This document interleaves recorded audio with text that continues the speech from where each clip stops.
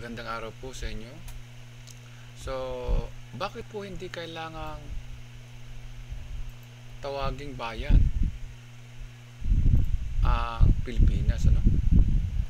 So, dapat po natin na malaman na hindi pwedeng tawaging bayan ang ating bansa. Kasi iba po talaga ang bayan kaysa sa bansa. Ano po? Kasi iba po ang pinakikita sa atin ni Dr. Sirizal kaysa pinakikita ni Emilio Aguinaldo. Ano po? So, yung pinakikita po ni Emilio Aguinaldo na bayan, ayun po yung nakikita ng mga Chinese. Ano? Sa Shanggukon Village. Kaya pag binasa niyo po yung literature ng China, diyan sa Xinjiang? Ay laging tinitingnan ng mga taga-Fujian sa Xinjiang na apo ng China si Dr. Rusi Rizal.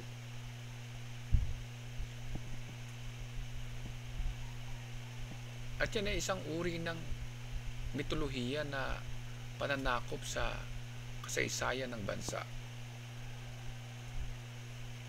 So, kapag napansin nyo po, ano, itong si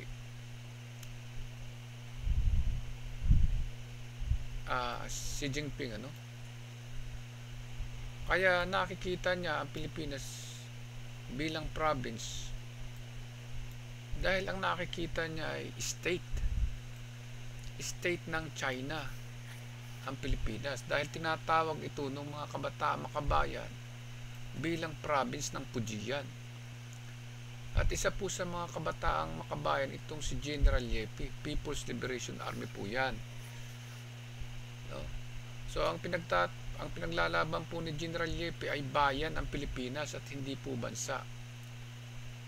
So ang nakikita ng mga kabataan makabayan o People's Liberation Army ay walang karapatan na tawagin ng mga Pilipino na bansa ang Pilipinas dahil tinawag nga ito ni Emilio Aguinaldo na isang inchik na isang na naunang presidente ng Republika ng Pilipinas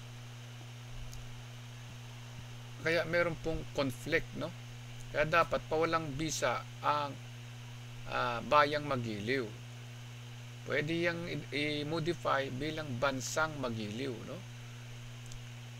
Hindi pwedeng sabihin na bayang magiliw ano? Kasi ang nakalubog po ano? Pag pinagbasihan nyo po ang sulat ni Jose Rizal sa paragraph 1 ano po pinapaliwanag niya na meron siyang isang bansa. Ano? Pag sinabing bansa, ang nasa sakupan niya ay mga probinsya, mga bayan, at mga barangay. Ano po? Hindi po ba? So kung sasabihin natin bayan, magkakaroon tayo ng maling pakahulugan. Para tayo maging dayuhan sa kalangitan o sa rehiyon ng araw. At bukod sa rehiyon ng araw, may problema tayo. Magkakaroon tayong problema sa karagatan. Kasi wala pong bayan sa dagat na inilubog ang Diyos o, o pinalitaw ang Diyos no, bilang bansa. Ano? Ang pinalitaw po ng Diyos sa paragraph 13 ano? Yun po sa paragraph 13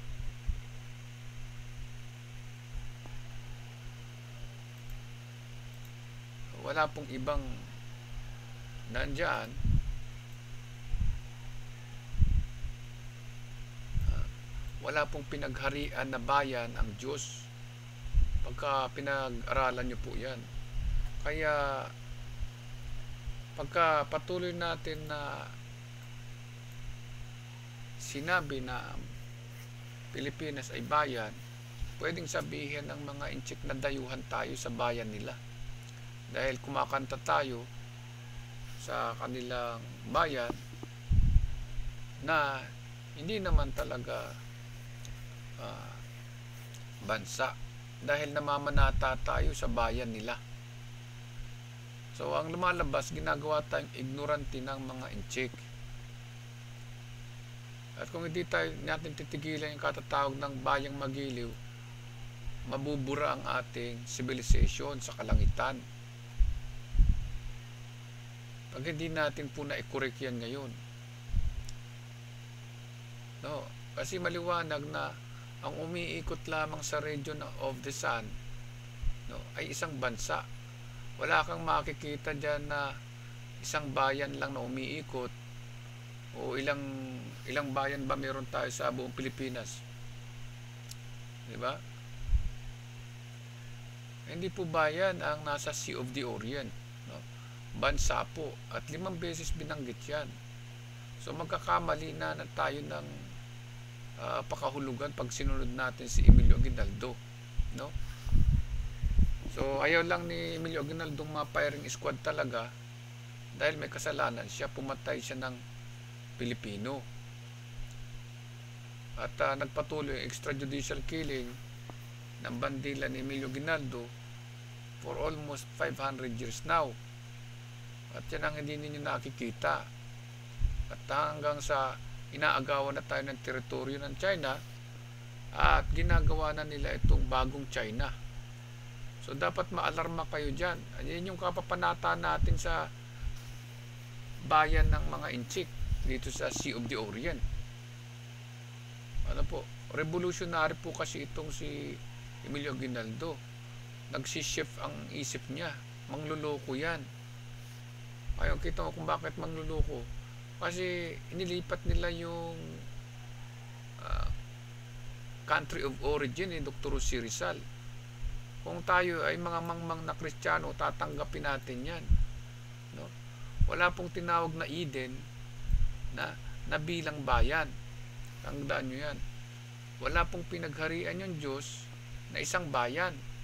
Ang pinagharian lang po niya ay isang bansa na nasa karagatan. Kung sasabihin natin ay yung bayan ng Pilipinas ay nasa karagatan, ay kalebe, paano yung ibang mga probinsya ng Pilipinas? Ngayon, ang problema, ina-annex tayo ng China at idinudugtong nila yung dugo nila kay Dr. Jose Rizal. Hindi po pwedeng dugtungan ng dugo ng, China, ng Inchik uh, si Jose Rizal para maging kabilang siya ng mga plunderer at magnanakaw ng karagatan. Nakakahiya po tayo. Wala po yan doon sa sinasabing paragraph 4, no? Na dapat ang bansang Pilipinas walang kapintasan, ano? Uh, walang kahihiyan. Pag ang pinag-uusapan po natin ay one day, isang araw lang yan. Buong, buong Pilipinas nagkaroon ng isang araw. Hindi isang bayan lang sa Pilipinas nagkakaroon ng araw at gabi. Saan po tayo nakakita na sa isang bayan sa Pilipinas, araw sa kabilang bayan ay uh, gabi na. Kasi when we talk about region of the sun, we're talking about uh, same ano uh, yung sinasabi time zone.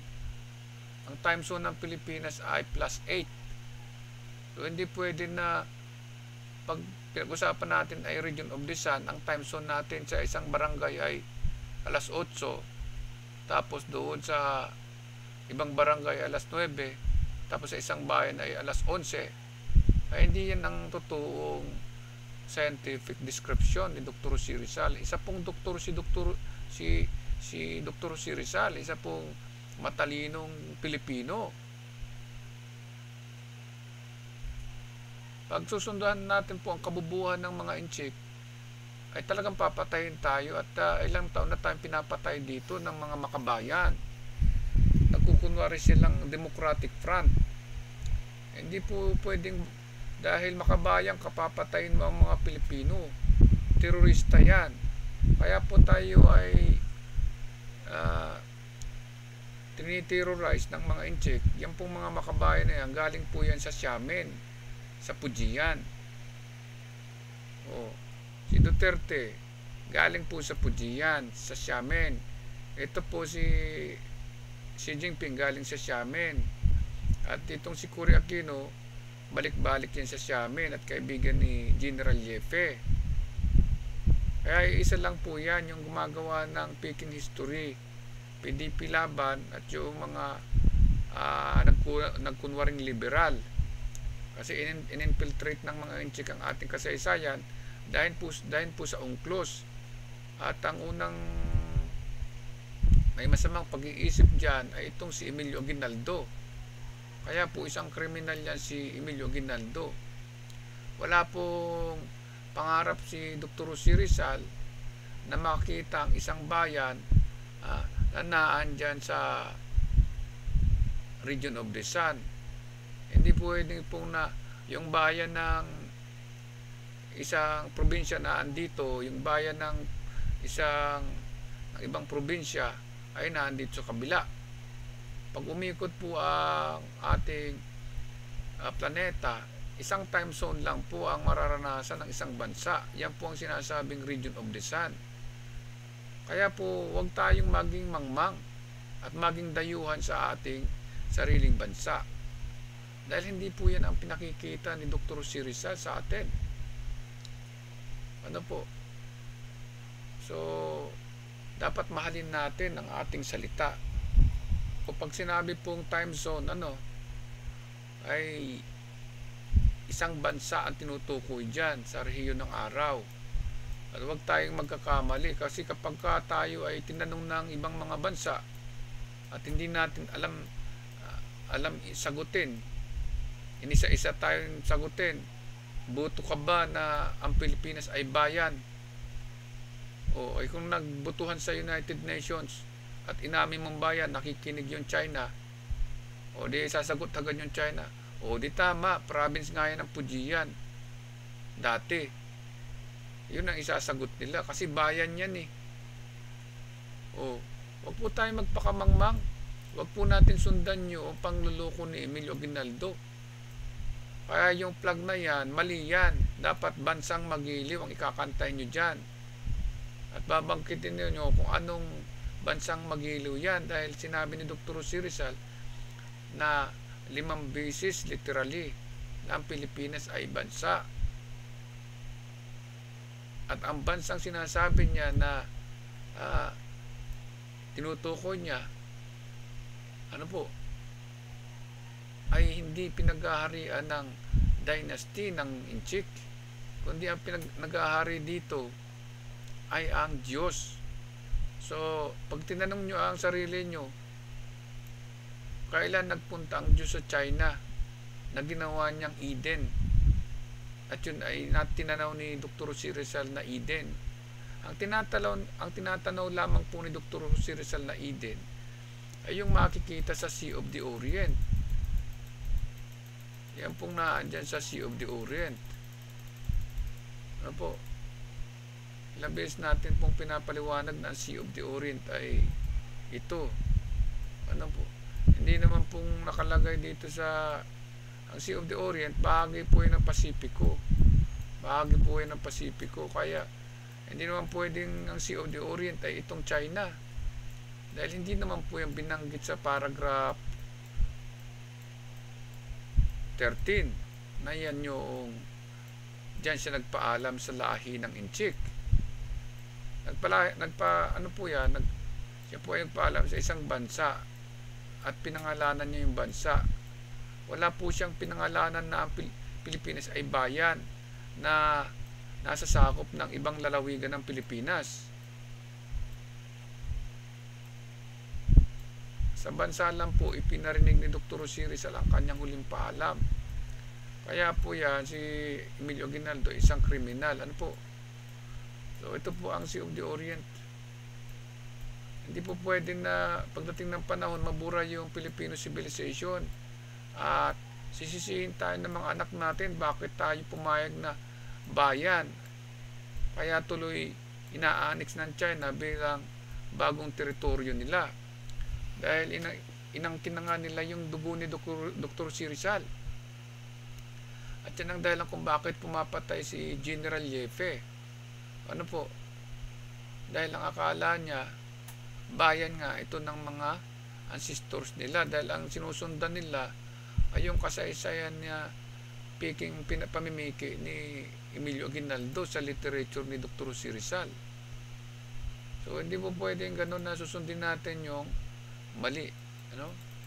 So, ang region of the sun po, ito Sea of the Orient, ano?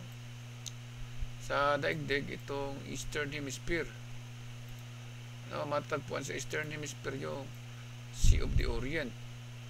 Hindi pwede na yung Sea of the Orient makita mo dito sa Western Hemisphere.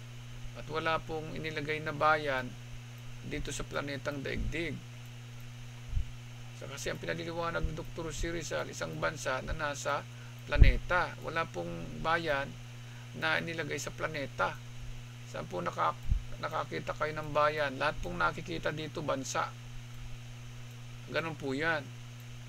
Ayun, ang problema, piniki ng mga enchik ang dugo ni si Rizal, nilagyan nila ng lolo sa China. Pero impossible pa rin na siya ay magkaroon ng lolo dahil tinawag niyang Eden ang Pilipinas. Pag sinabing Eden, dito lang nanggaling sa lupain ng Pilipino ang Pilipino. Wala pong dugo na pinanggalingan. Kumbaga, ang Diyos ay direktang nila lang yung pinakang ancestors natin na si Adan. No? Ayaw niya po kasing ipasakop sa ibang dayuhan ang lahi ng mga Pilipino, ang binhi ng buhay ng mga Pilipino. Kaya tinawag niyang Eden. Kasi pag pinag-aralan mo po, lahat ng bansa nasakop ng uh, reliyon. Tinawag nilang sila ay komunista, yung iba naman ay tinawag nilang sila ay Islam, at tinawag naman silang nila yung iba na Kristiyano. Ganun po yan. Matalino si Dr. Sirizal. Kasi wala pong sinasabi na ipinanganak ng reliyon ang mga tao. Ang Diyos po ay walang reliyon. Kaya nga po ang sabi ng Panginoon, di ba? Mapalad ang bansa ng Diyos ay ang Panginoon. Walang sinasabi na mapalad ang ang bayan ah, na ang uh, sinasamba ay ang Panginoon. Kapag ka sinabi mong ba, bansa, lahat ng kapuluan sa 7,641 islands, kasama yan. Pag sinabing bansa, yan lahat ng bahagi ng Pilipinas nakikita yung region of the sun. Yung sinasabi nating space or sky. Ano, yung kumbaga yung bansa uh, na sinasabi ni Dr. Sirsal napapailaliman ng atmosphere. Hindi yung ang may atmosphere lamang ay ilang barangay sa isang bayan. Kaya mali po yung uh, nagsulat na yan dahil ang gusto ng nagsulat na yan manatili yung pagiging gobernador silyo nila at makapagnakaw sila ng makapagnakaw ng tax. Ganun po yan. Kahit palit-ulitin po, ulit-ulitin ninyo na basahin ang last farewell ni Dr. Sirizal hindi bayan ang sinasabi ni Dr. Si Rizal. Isa po malayang bansa na hindi nasa sakupan ng uh, kahit sino. Ano? Ganun po yan. So kung sasabihin mong bayan, yan po ang dahilan kung bakit itong mga Inchik tinatawag nilang province ng China ang Pilipinas. At yan ang dahilan ng pagnanakaw ni Aquino at ng PDP laban sa uh, kasaysayan ng Pilipinas at sa konstitusyon. At kung kayo hindi marunong magbasa ng konstitusyon, ay basahin niyo po yung 1975 at saka itong 1987. Wala na yung bansa natin sa 1987 wala na, wala na rin yung historic right and legal, and legal title natin na belonging to Philippines. Tinanggal na po yan. Kaya po, hindi po pwedeng pagnakawan si Dr. Jose Rizal ng bansa kasi limang beses pong sinabi ni Dr. Jose Rizal na ang um, Pilipinas ay bansa. Kaya nga po Pilipinas, yan po ay bansa. Wala pong sinasabi na ang bayan mo ay Pilipinas tapos kasing bayan din ng mga ibang bayan sa loob ng probinsya. Hindi po ganyan ang pagkilala sa isang bansa. Pag sinabing anong bansa ka, sasabihin mo, hindi yung bayan mo. Kasi pag uh, sinabi mong bay- yung bayan mo, sasabihin mo po kung nasasakop na probinsya dyan. Kaya po ay lukuhan.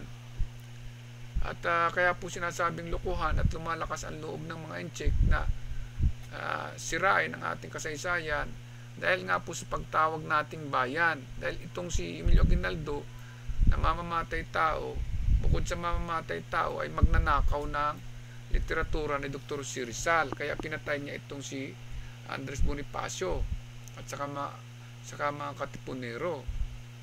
Ganun po yan wala pong natatanaw si Dr. Jose Rizal na lahi niya na nakalugbog dyan sa Sea of the Orient. Ang nakikita po niya ay isang bansa niya. At yung bansa niya ay meron ding mga dayuhan. Pag sinabing dayuhan, hindi ka galing sa Pilipinas. Dumating ka lang sa Pilipinas bilang visitor. Ano? Kumbaga ay hihingi ka ng visa sa immigration bago ka pumasok. Ah, kukuha ka na visa sa consulate ng Pilipinas doon sa bansang pinanggalingan mo bago ka makapasok dito. So mag issue muna ang uh, consulate ng Pilipinas kung galing ka sa China uh, ng visa, entry visa or working visa or anong visa ang kailangan mo tourist visa na hindi ka papasok sa Pilipinas hanggat walang approval ng bansang Pilipinas na uh, manggagaling dito sa ating bansa.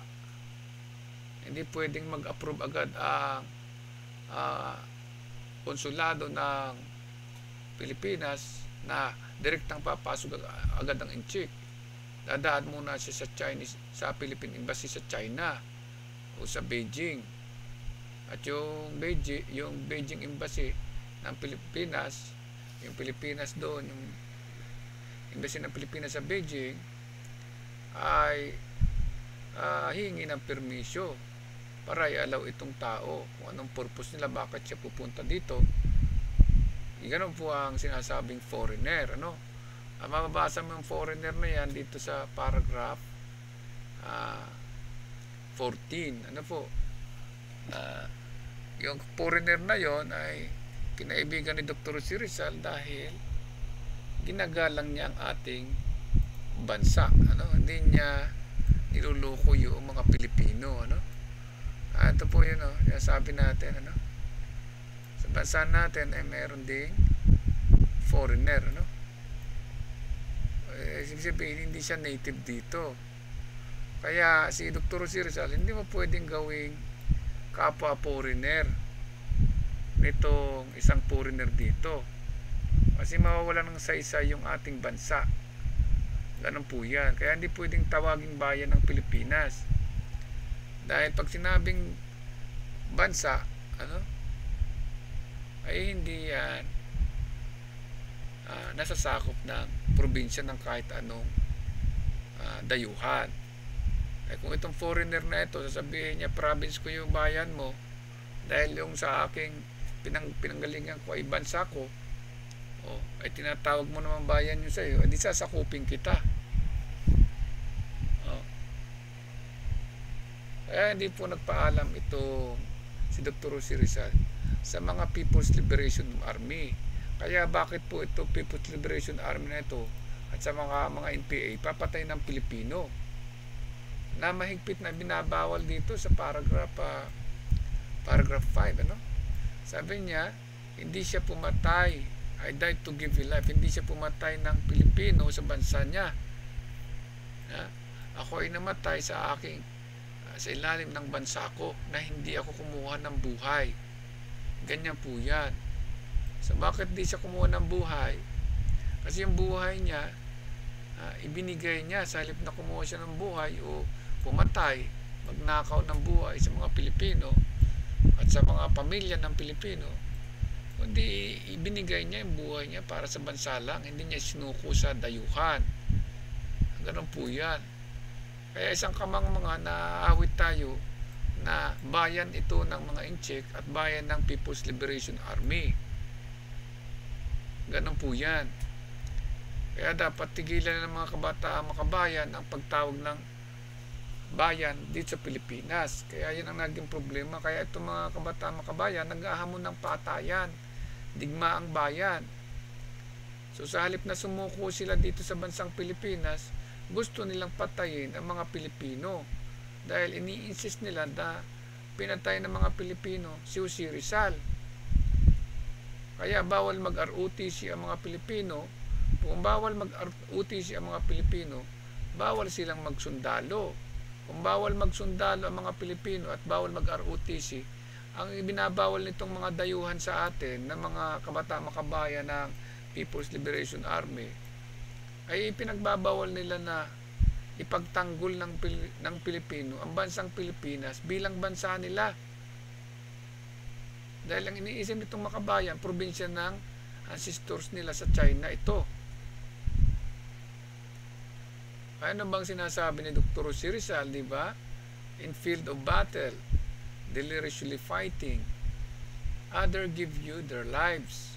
So, ibig sabihin, ipinaglalaban ng mga Pilipino, hindi nila isinusuko yung bansa nila hanggang sa huling hininga. So, ito mga dayuhan ng mga kabataan makbayan ay bakit kukuha ng hininga ng buhay? Ay hindi naman ito binigay ng kanilang ancestor sa mga Pilipino.